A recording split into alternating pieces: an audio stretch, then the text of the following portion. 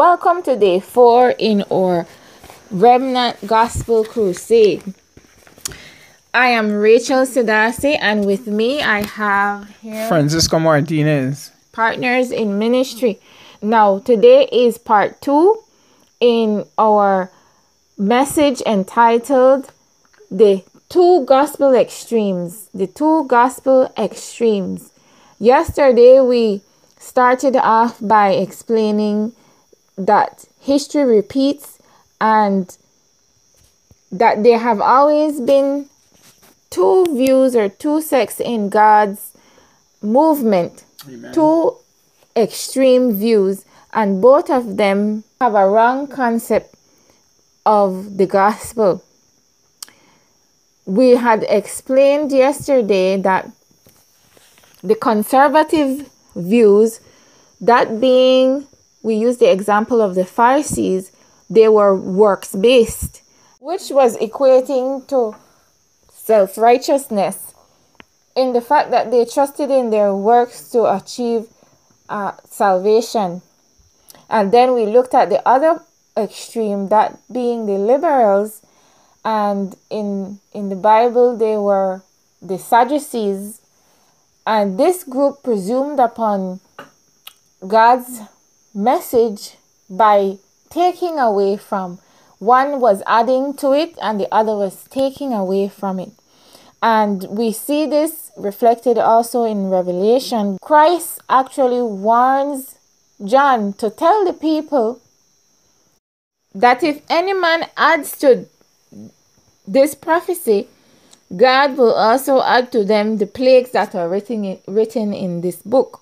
And if anyone takes away from the book of prophecy, God will take his name out of the book of life from the holy city and from the things which are written in this book. That is Revelation chapter 22, verse 18 and 19. So we see here clearly that Christ is addressing these two extremes. Mm-hmm. Now, today our aim is to bring to your consciousness these two groups that are actually existing stemming from the church today. And the contention is over the issue of 1844 not being a prophetic year.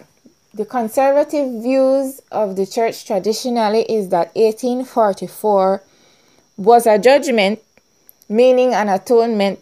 They actually claim that Christ moved from the holy place to the most holy place and began to cleanse or to sanctify the sanctuary by reviewing the books. And the liberals are contending with this view. This is a, a group that stems from the Advent movement. And their view is that William Miller got the formula wrong, the early pioneers got it wrong, and 1844 was not an atonement, was not a judgment, was not a prophetic year because they were able to prove that the atonement actually took place at the cross. Now, tonight we're going to expound more on the two views, the two extremes, and we're going to show you where both of them have part right, part wrong, which makes the whole picture wrong.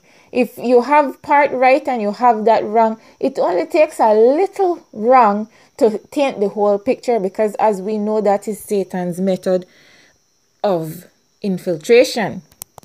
Okay, brother, this is what we will do. This is role playing, viewers. Brother Martinez will hold the view of the conservative, that is the church traditional, their views from the founding fathers going up to where we are today.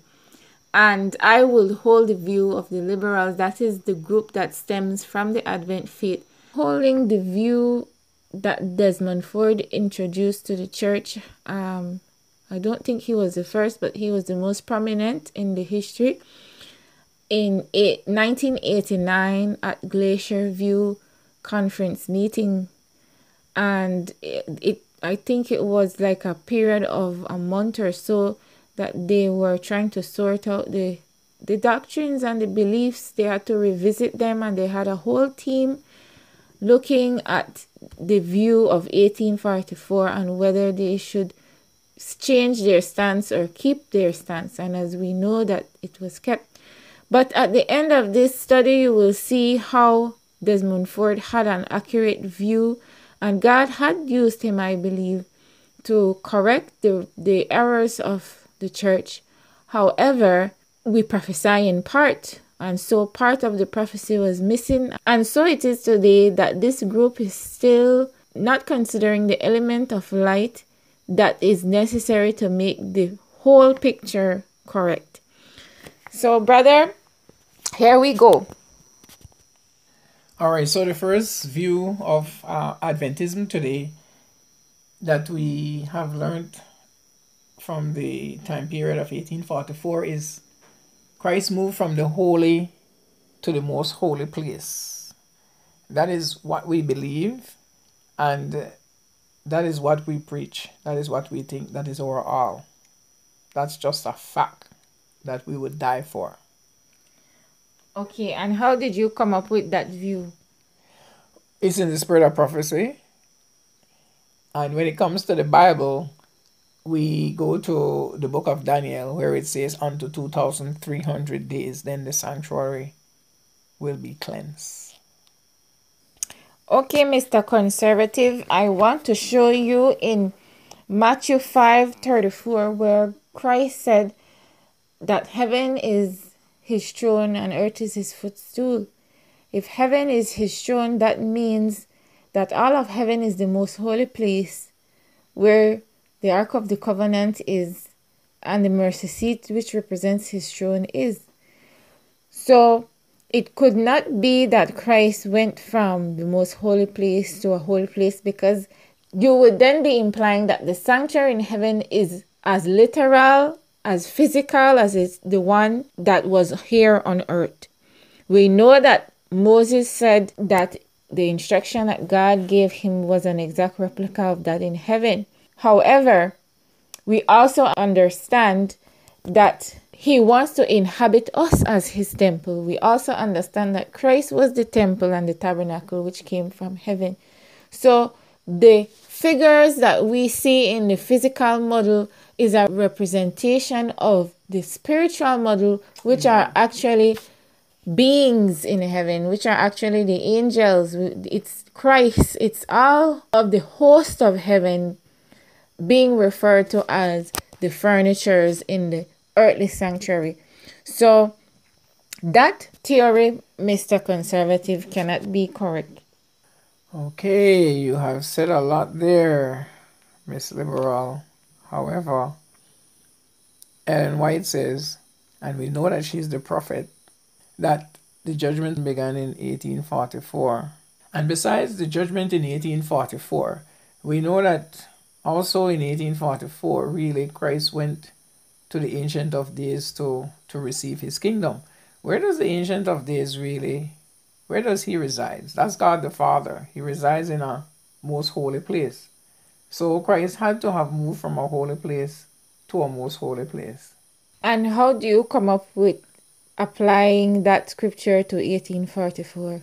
Well, our pioneers, for starters, I can't remember the name of the pioneer, but he said that he, he saw it in a vision. Um, that's that's all. That's that's our Adventist history. Well, Mr. Conservative, I have news for you, because the Bible says in Hebrews chapter 9, verses 24 to 26. For Christ has not entered the holy place made with hands, which are copies of the true, but into heaven itself, now to appear in the presence of God for us. Not that he should offer himself often as the high priest enters the most holy place every year with blood of another he then would have to suffer often since the foundation of the world. But now, once at the end of ages, he has appeared to put away sin by the sacrifice of himself. So it's saying here plainly in scriptures that Christ entered into heaven to appear in the presence of God. He didn't wait until 1844 to enter into the presence of God where the holy place is. And it says he suffered once, which means that the atonement took place once at the cross. Why would he need to atone again in 1844?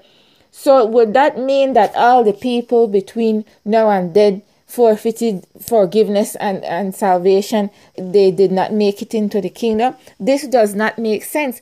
Why? Because you guys go too much on what Sister White say. I want to tell you something today. Sister White did not understand the scriptures same as William Miller, they did not have an exegetical understanding of scriptures, meaning that they did not understand the correct context in which certain passages was written. So they did not interpret it correctly. So I want to tell you instead of listening to the errors of Sister White and William Miller, you need to read your Bible and see what your Bible is saying. Okay, Miss Liberal, well, I have news for you. Christ actually died in the courtyard. And if you notice, the sanctuary starts with the altar of sacrifice, and then it goes to the laver, it goes to the holy place, and then the most holy place. So if it starts at the altar of sacrifice, which is the cross, it must progress until it reaches the most holy place. And that happened in 1844. That is our history. That is what we teach. We know that Ellen White is a prophet. As we have proven, God says, as you talk about Bible, let me go to the Bible. God says that he will do nothing unless he tells his prophets. And Ellen White is the prophet for my time. When the movement was happening in 1844, he allowed a prophet to speak. So we know and we're confident as Adventists that it is correct. I was never there, but it can be proven and has been proven, and I believe it because she is the prophet for my time. And by the way, it has to be so. There had to have been a second phase because, as we can see in the earthly sanctuary, the priest would go into the most holy place once a year.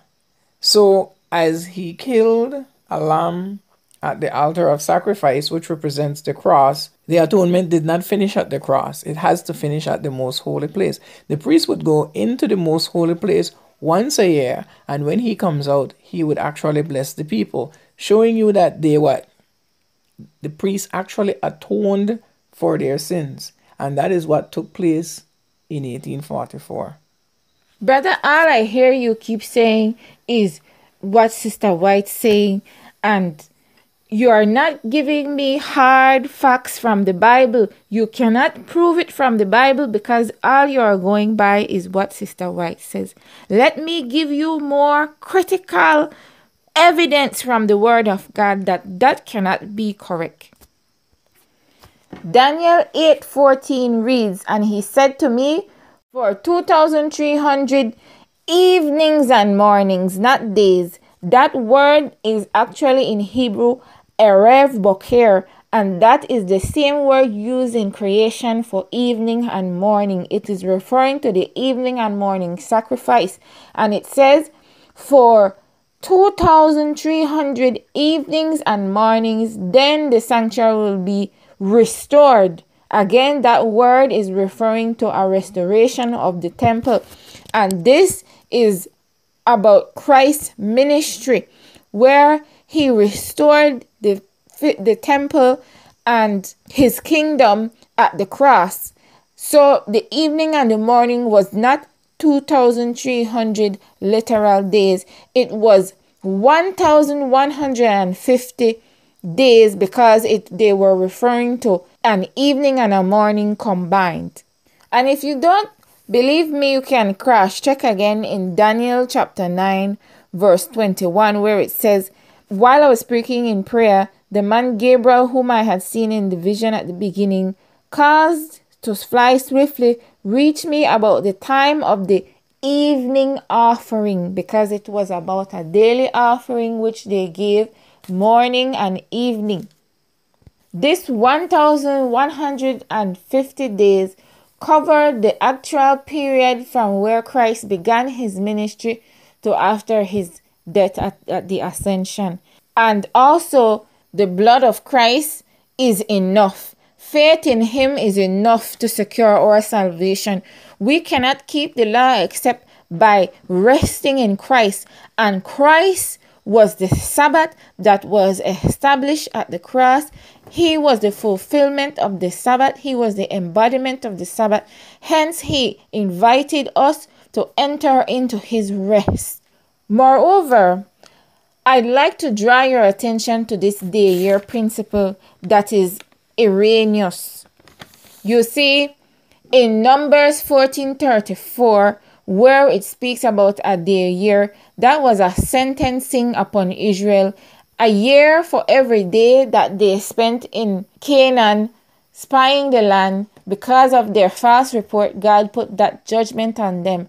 A year for every day that they spent in the land.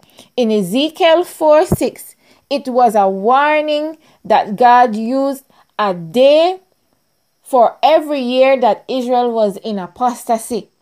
And that warning and that sign or that symbol was what Ezekiel was to portray to the people to warn them of their apostasy.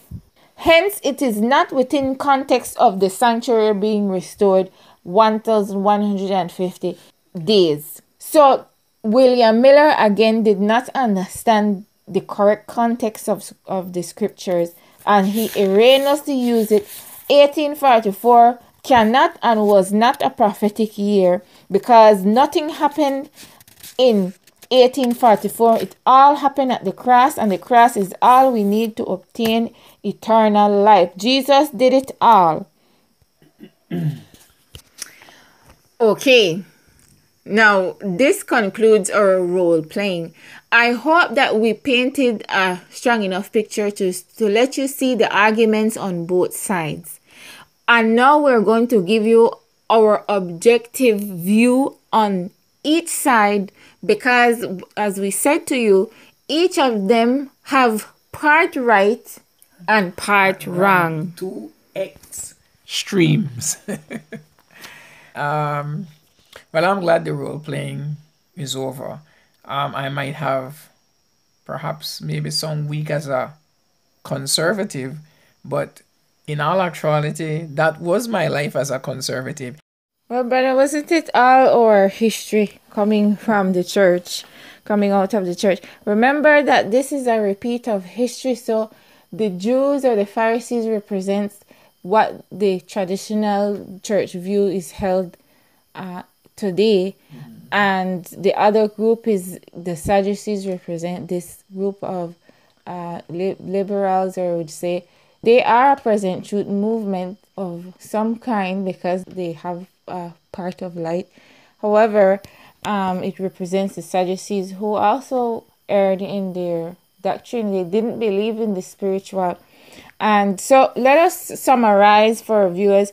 And viewers, I want you to understand that today this message today is to highlight the two extremes that is taking place in our current time in the next two messages, we will then break it down for you and show you the evidence as to how each part have a part right and a part wrong.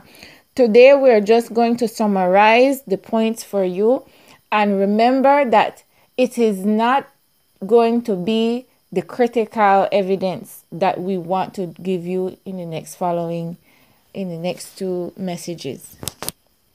So the nominal Seventh day Adventist view, this is where they're in error. They believe that the translation of the sanctuary in heaven is an exact replica of on earth being literal to literal. It cannot be literal to literal. You're seeing this in Revelation because Christ is explaining about the church, the seven lampstands which you saw was the church. He's saying that the church in heaven is reflected by the church on earth. Likewise, the Ark of the Covenant that you saw at the end of the trumpets is the 144 standing with the Lamb. They are the Ark. They are the New Jerusalem represented There is God's people on a whole. So it is it is something physical that is represented as spiritual. It's not literal to literal, it's literal to spiritual. And also the other point that they are in that they emphasize too much on judgment and law rather than Christ. This is why um, the other group cor- had to correct them using scriptures because the truth of the matter is that the atonement at the cross was a one time event. If you're looking at it literally, it was a one time event. The scripture says so. But the aspect that the church does is not seeing is the spiritual aspect because the cross, the literal atonement was an event, one time event. But the spiritual atonement is a process. Again, viewers, we're going to prove it to you tomorrow how it relates uh, here. And you have to understand also that in Sister White's time, they were they came out of a heavy works based background Whereas the Catholic Church used to do penances, they used to walk up flights of steps. You, are you familiar with, with that history, brother? Of course, of course, and I'm sure our viewers um, are too.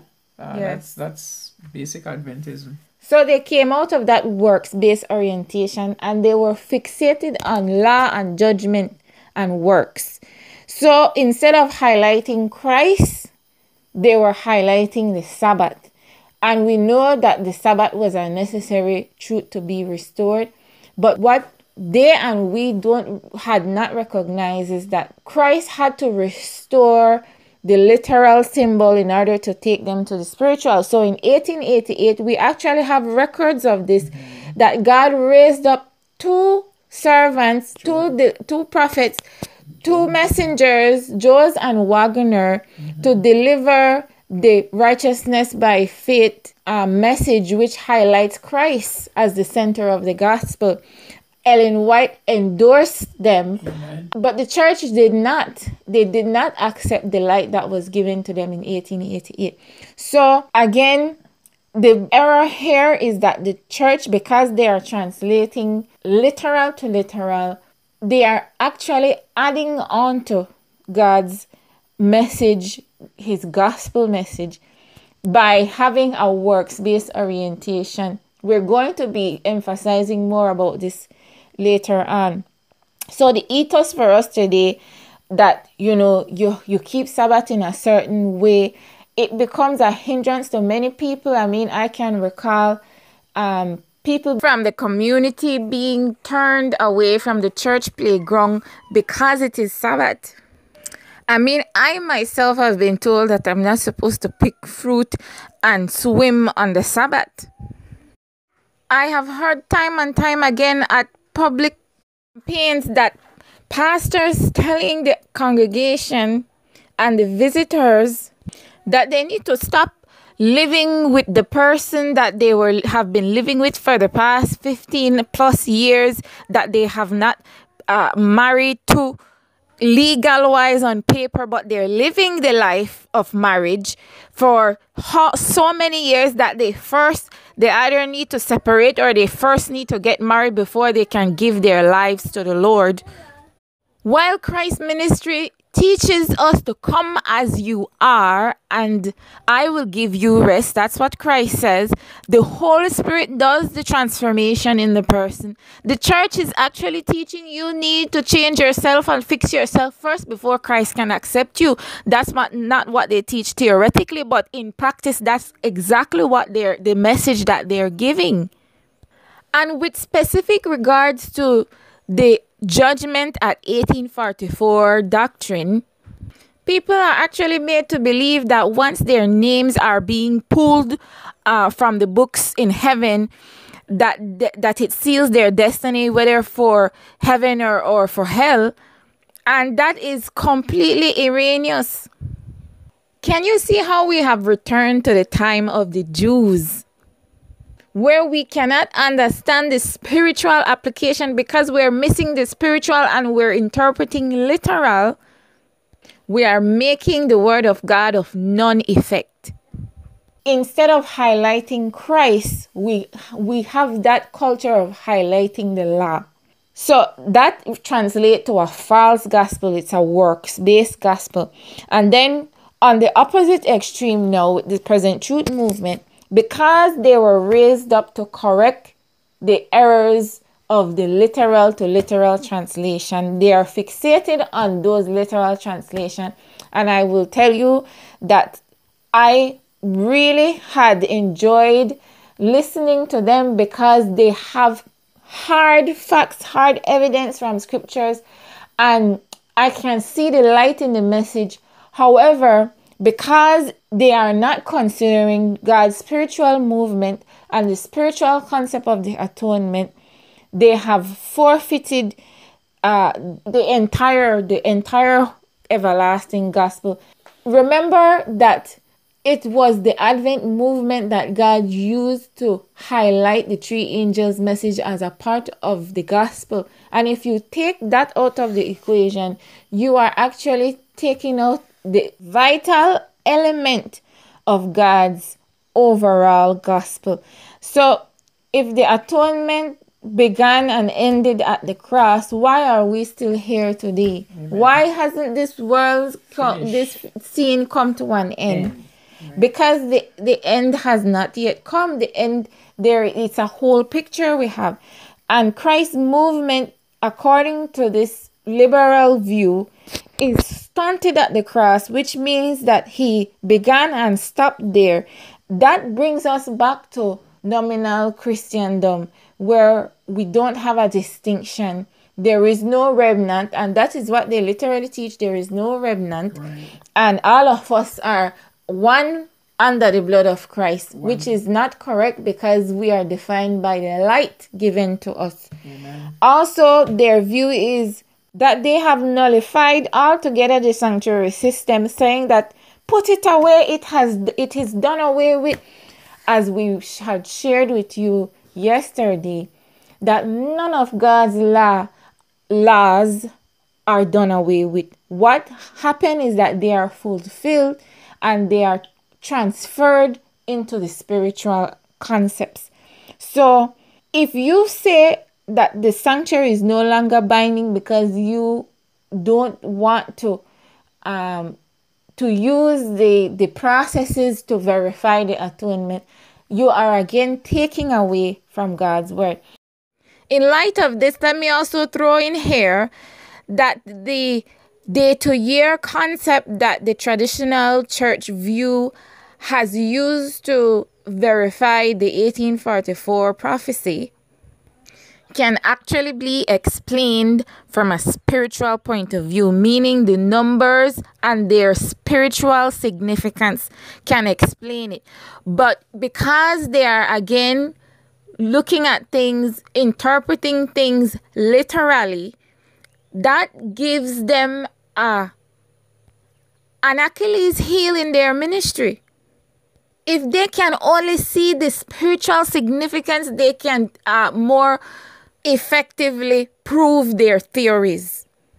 Over this concept of Christ reviewing the records and pulling books in heaven, if you understand that under the new covenant, the law is being written on our hearts, in the old covenant, it was a written law. In the new, it is by the spirit that the law is written on our hearts or in our minds.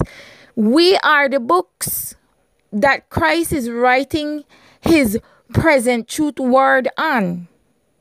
And it's not a matter of whether or not we receive eternal life. That's not the issue. It's a matter of Christ defining his remnant that will take the message to the world. And this gospel will be preached throughout the world, and then the end will come. So, because the church have been teaching these things literally, they have totally distorted the gospel message. Meanwhile, he raised up people like Desmond Ford to correct that literal interpretation. These liberalist groups need to understand that God did not make an error with his prophets in 1844, with those he had put the light in. There is no way that such a movement that took place in 1844 could not be prophetic. Think about it, brothers and sisters. But because we prophesy in part, we don't see the complete picture until the time that God ordains for us to see it. So, brothers and sisters, we have here on the liberal side an incomplete gospel.